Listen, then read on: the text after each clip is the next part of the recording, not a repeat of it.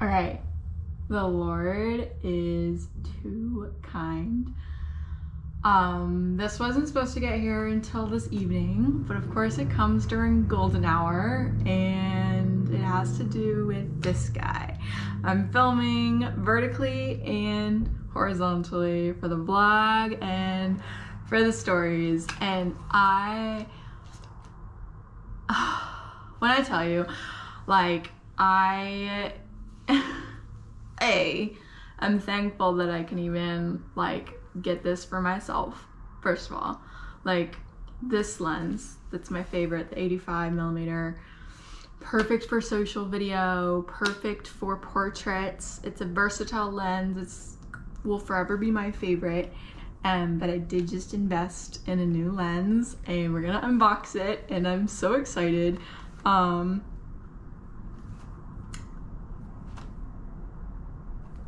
just, I just, oh, wow. Okay, let me make sure that this is charged. So I don't want my battery to die again. I thought that if you had your GoPro plugged in that it would charge while you're filming, but I guess not. So,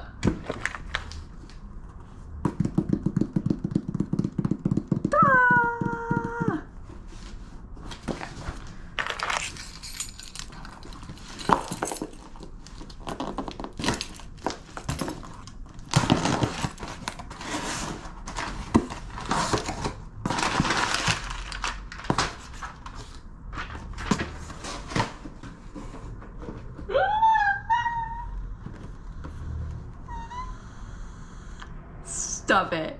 Stop it. Stop it. What? This is the RF 24 to 70 f2.8 lens. And I'm so stoked right now. so,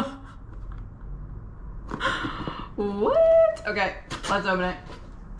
No time to spare.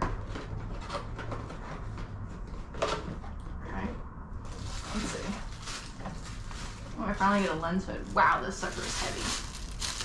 Whoo, that is some glass right there. Hey. Wow. This is bigger than I thought.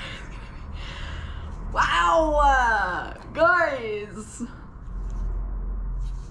This is quality right here. Quality. Look at that. Wow. Look how big this glass is. Like, I'm not sure that you guys are aware, but like, that's a lot of glass. That's a lot of glass. Like, wow. And not to say that in like a scary way, but like, wow. Just, um, Oh, oh, there's a lock. Oh, sick. Okay. It's like I've never seen a camera lens before, but low key, this is, this is just, this is, I'm speechless. Let's stick it on my camera. I probably need to check clean my situation here, but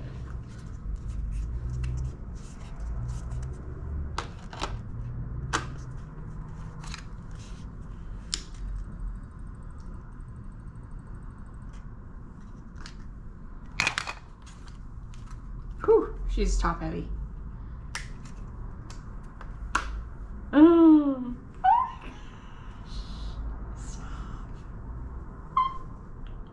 Wait, okay, let me change my settings. This is insane. What the, what the heck? That's so wide. it's so wide. And look, that's portrait mode. Stop it. Stop it. What?